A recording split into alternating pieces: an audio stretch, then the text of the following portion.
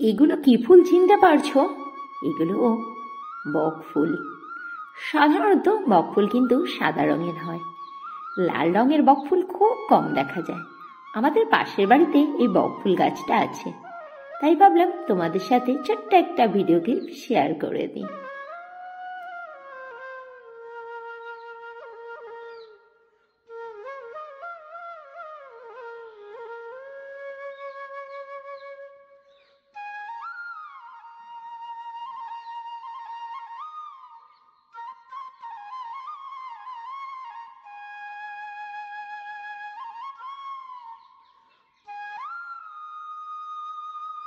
সকালে ছেলে খেয়ে কলেজ যাবে, এই জন্য ওকে করে দিয়েছি ফেনা ভাত আর দিয়েছি ঘি, ডিমের পোচ আর টিফিনে দিয়েছি পরোটা, আলুর তরকারি।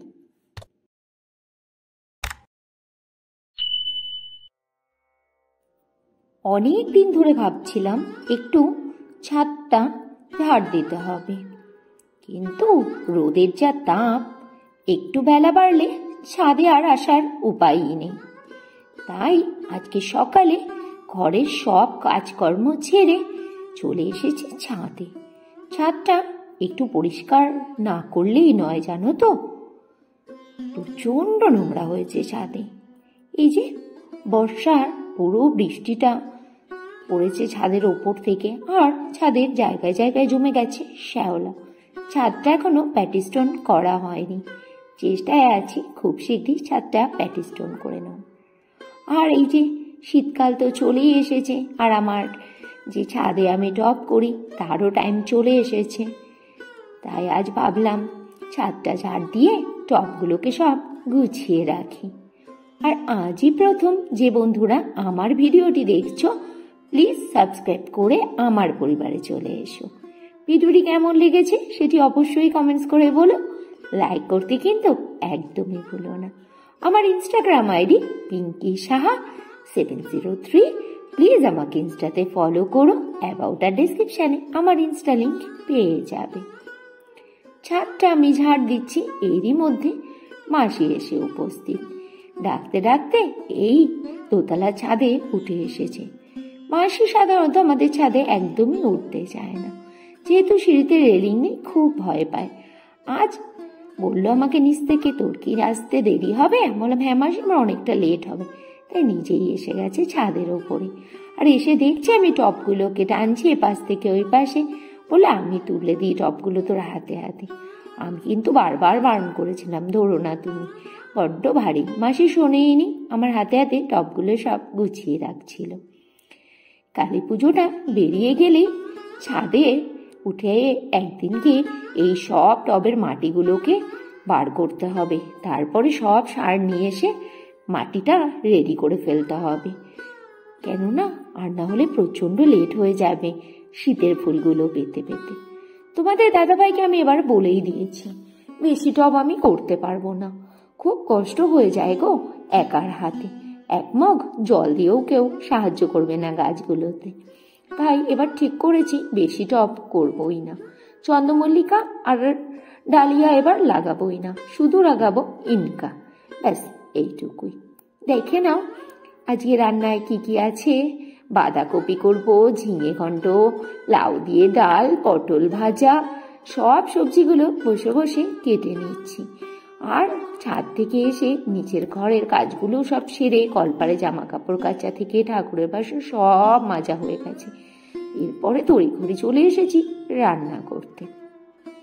এখন একটু ঠান্ডা ঠান্ডা পড়াতে আর বেলাটা একটু ছোট হয়ে যাওয়াতে না, বেলার সাথে দৌড়ে যেন পাড়াই যাচ্ছে না। এ দেখো ঘরে না ছিল এক মুঠো বিউলির ডাল, সেদিন কোটো গোছাতে গোছাতে পেয়েছি।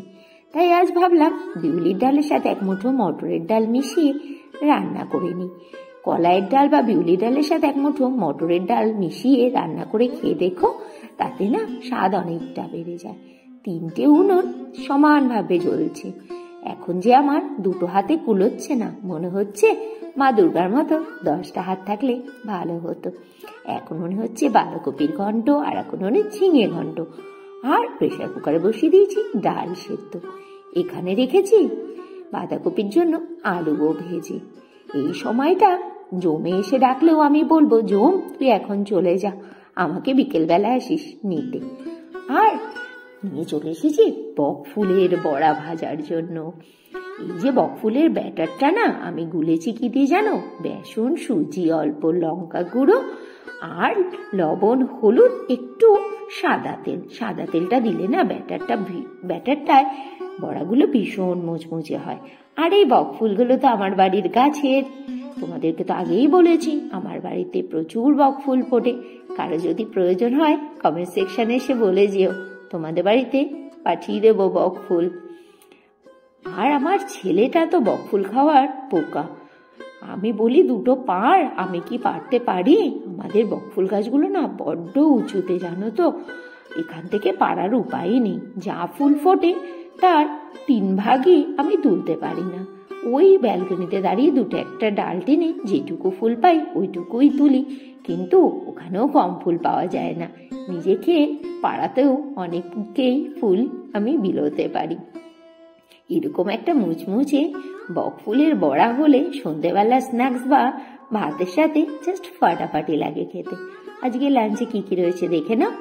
ভাত রয়েছে, লাউ দিয়ে বিউলি মটরের ডাল মিশিয়ে করেছি, সেটা দেখেছ? বাঁধাকপির ঘন্ট, ঝিঙে ঘন্ট, পটল ভাজা আর বকফুলে ভরা ভাজাটা তো তোমাদেরকে দেখালামই এই দিয়ে করে নেব লাঞ্চ। ও, সাথে চিপসও রয়েছে। আজকে ব্লগটা এখানেই শেষ করছি।